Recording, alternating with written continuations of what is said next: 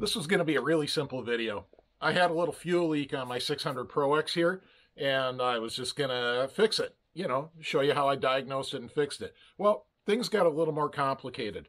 Uh, I have to split the rack carbs, and the rack carbs have a throttle position sensor.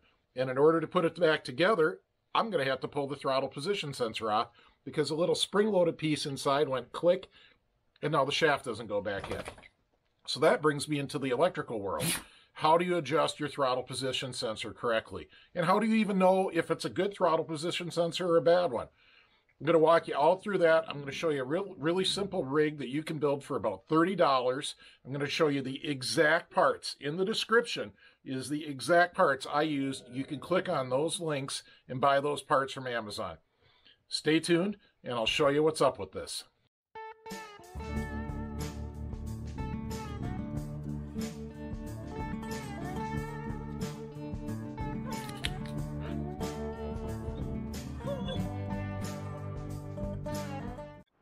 Well, that wasn't very bad to figure out the uh, leak at all. There's this T right here. I'm going to wipe it off. There's a T, and I assume there's O-rings on it. And I don't know if you could see that on the camera, but I can see it with my eyes. The gas is just creeping out of the O-rings on each side. So looks like I'm going to have to split them carbs apart. All right, seems like a good time to bring you back. And uh, just want to show you one thing I did over here on the motor. I stuffed some paper towels in the boots right away just so I wouldn't get any, you know, if I drop a screw or something, I won't get it into the motor. And then uh, I got the carbs split over here.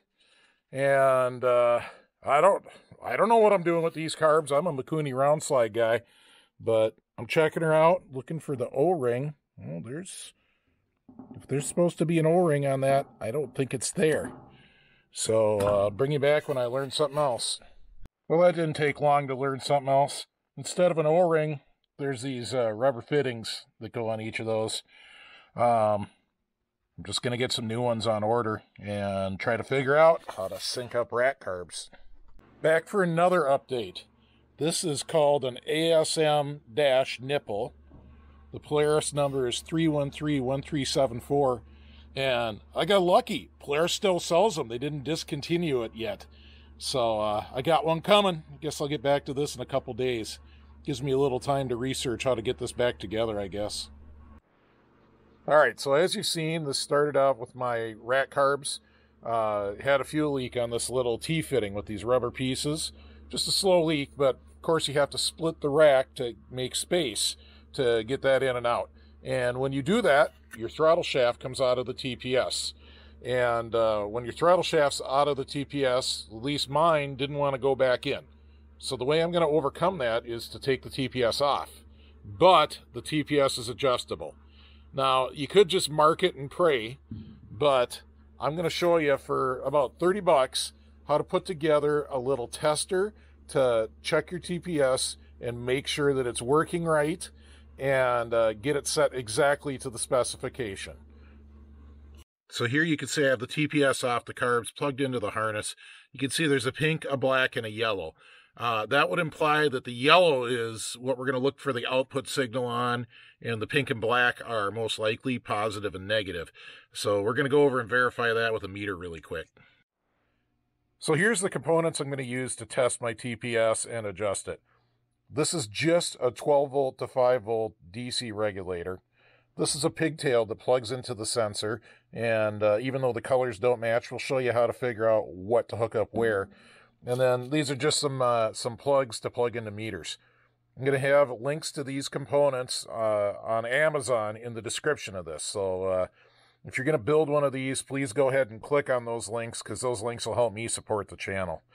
Um, I'll also need a, a, a voltmeter and I'm going to use a 12 volt DC power supply with this, but I'm going to tell you right now, that's not necessarily required. You could use a garden tractor battery. Uh, you could use a small battery charger or a battery tender. All you need is something that makes just 12 volts DC to go to this black and this red wire here. Before we get too carried away with the fancy stuff, I want to show you how to test if your throttle position sensor is good or bad. So this is just a, a, carbon resistor, just a thin film carbon resistor. It's a variable resistor. When you twist that middle part, the resistance changes. It only twists one way and it's spring loaded. Don't force it the wrong way or you'll break it. So I like to use an analog meter for this. In fact, I think it's mandatory. There's no way you'll be able to detect a, a, a fault in your TPS with a digital meter because the readings are just going to jump around too much as you twist it. So when you twist it, you're looking for a very smooth needle movement. So I just put my screwdriver into it and twist slowly. And there we go. Go back down.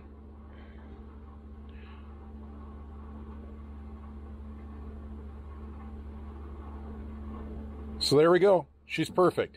This is a good TPS. If the needle's all jumpy, jittery, or drops to one end or climbs to the other end and then goes back to the middle, anything strange, anything other than a, a smooth movement that echoes your twisting here, that indicates you need a new TPS. So this one's good to go. It's going back on the sled. All right, so I am going to put in a wiring diagram on how to hook up this voltage regulator and these wires to this pigtail. And I'll also include a wiring diagram of how to hook it up to the meter and test it, what the settings are. Um, that's how to test the regulator, make sure it's working right. And then also for the uh, how to just test your, your voltage. So that'll go right here.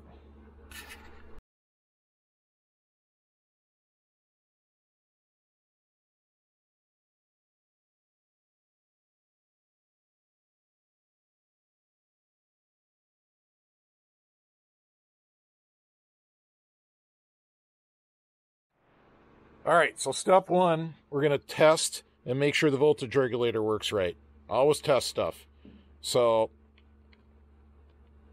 I'm plugging the black into the common. The red goes into the positive. We're on the DC voltage.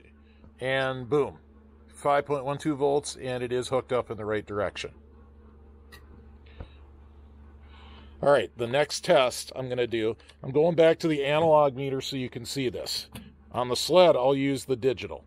So, the wiper, this lone wire by itself here, the wiper goes into the plus on the on the meter, and the the black out of the voltage regulator goes to the negative. You want to be on your DC volts, and I am on the 15 volt DC scale here. And hopefully you can see the needle moving. Try to get this probably laying down is better. So it's at zero volts. Let me turn this on.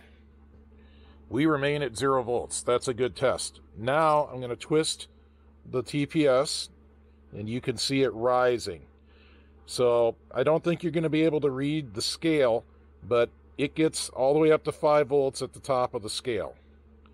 So we have things configured right.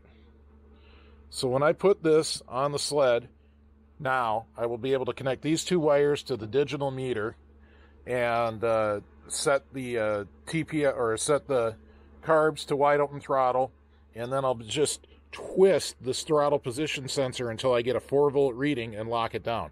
Actually, I won't even do it on the sled. I'll do it on the bench. So uh, once I get the carbs back together, we'll come back to that. Well, I'm picking up on my edge where I left off a week ago. I've been waiting for that inlet fitting for, for a week and uh, I'm going to get back at it, get the carbs together, get them synced, and get the uh, throttle position sensor on it.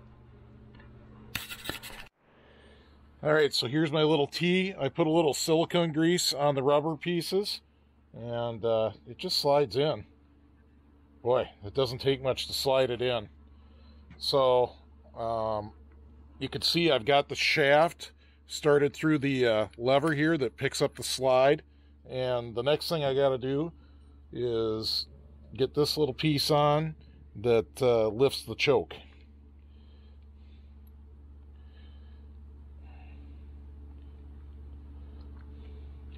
Now I can start working these together. Okay, so it's time to put the racks together. And it's been a while since I took these apart. It's been sitting here apart a whole week. But Start by slipping in a spacer. Get one screw started.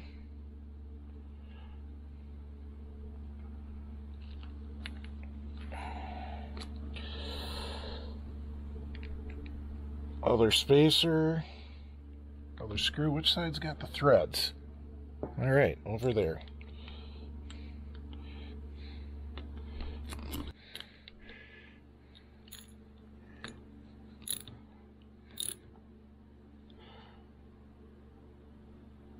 Click. All right, my racks are whole again. That's a good thing. Now, to get my choke plungers lined up, looks like they are lined up. They're both both chokes are down.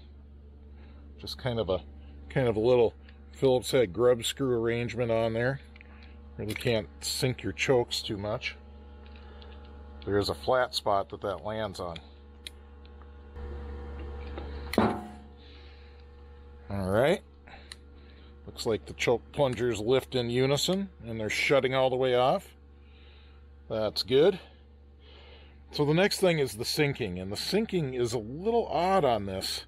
Um, actually, this brass piece is the eccentric, and so there's a patch lock on this screw, and you screw it in, and then you adjust that brass piece to sync. And there's a procedure in the service manual that I need to go read. But when you're done, you lock it with that screw. And I can feel the patch is still working. There's still some resistance, so that's a good thing. Okay, so I just went and looked up the the procedure for syncing the carbs.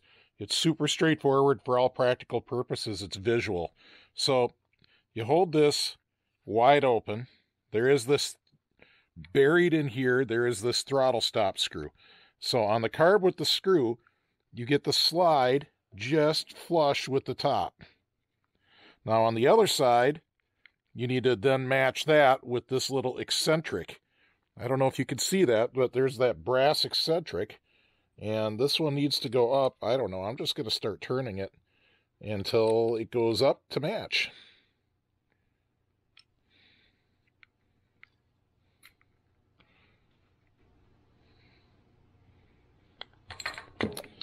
Just kind of fiddly. You get the idea. I'm just going to I'm just going to fiddle with this until I get it. All right, ready to adjust the throttle position sensor. So I just put it on. It's in a random position. And you see, I, you can see I've got the rig hooked up, just like discussed before. And at wide open throttle, it's at 4.2 volts. So I need to loosen the screws a little because she's pretty tight. And I, I do have this security bit. I think I mentioned that earlier, but I'll mention it again because a week has gone by since I took that thing off. So, here we go again. 4.2, twisting, wrong way. I'll loosen that up a little more.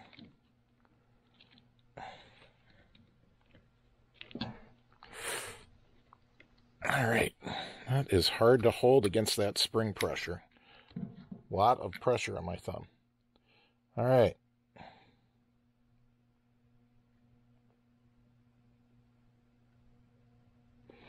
Four point zero zero volts at wide open throttle. Let's hope it doesn't move as I tighten it. I'm to let go while I tighten it down. All right, so after a certain amount of fiddly adjustment back and forth. Put this to wide open. Close enough. Within one one hundredth of a volt, more than good enough. So I think it's time to put these carbs back on the sled. All right, I swapped out my uh, pigtail here because the, the retainer on this is broke off. Somebody had it zip tied on. So I just want to remind you when you do that, uh, the wire colors don't match anymore. Don't go by the colors, go by the position. So you can look at it on the end and you can see what's in what position. All right, everything's back together. It's time to give her a pull. I'm going to tell you right now, the last thing I did before I put the airbox on was give a squirt of gas down each carb. Hopefully she pops on the first pull. I don't know. That's what I'm hoping for, and hopefully it'll be enough to get fuel up to the carbs and keep it running, but we won't know until we know.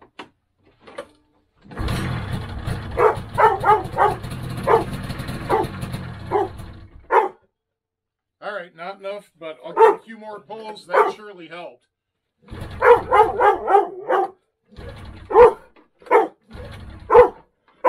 Could it be flooded already? Farley? Farley, please. Please.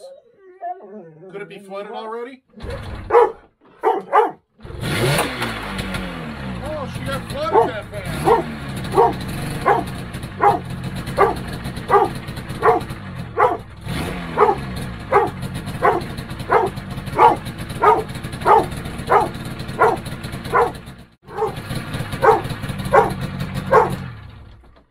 All right, well, she's running. Sounded like maybe it's only running on one. I don't know. It's it's after dark, but uh, I guess I'll take her for a quick rip. I'm not going to be able to take you with for the ride. Well, I could, but it's dark and you won't see anything. So that'll be a couple days down the road, probably.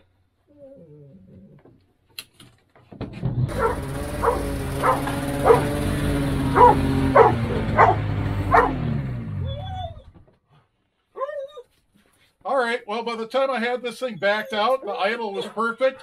She's running on both. She rips. So uh, can't wait to get some daylight. Take you guys for a ride on it.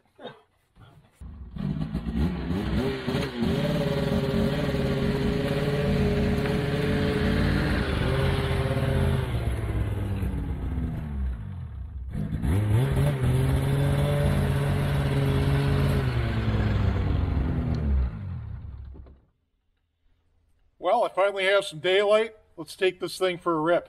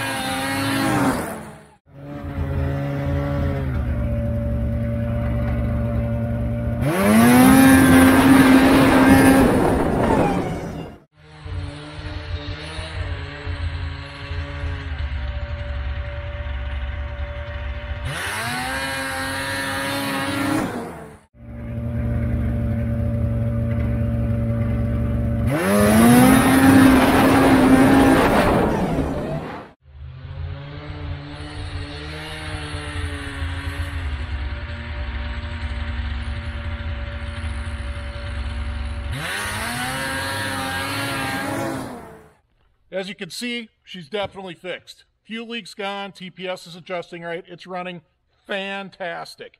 Couldn't be happier, except for one thing. This is not studded like the Indy 650, so there just wasn't enough traction available today to ride the big wheelies like the 650 was able to do. Uh, we just need more snow here. So uh, pray for some more snow for us here in Minnesota. We could really use that. Uh, with that said, I'm going to wrap up the video. Uh, I want to say thanks for watching. Please hit the uh, subscribe button if you haven't yet. And I want to mention a couple channels that are worth checking out. Uh, one is called Let's Fix Something. It's another local guy, local to me, that I've never actually met him yet, but I enjoy his videos. Similar, around 500 subscribers channel, doing old sled stuff. And another one is Matt's Workshop. I believe he's up in Canada. If you're into skidoos, he's a good guy to watch. not saying don't watch my stuff. Please watch them all. Give those guys a chance, and uh, let's see. Uh, let's see uh, if we can get some more viewers for everybody. Hopefully, they'll do the same shout out for me. So, uh, thanks for watching, and we'll see you on the trails.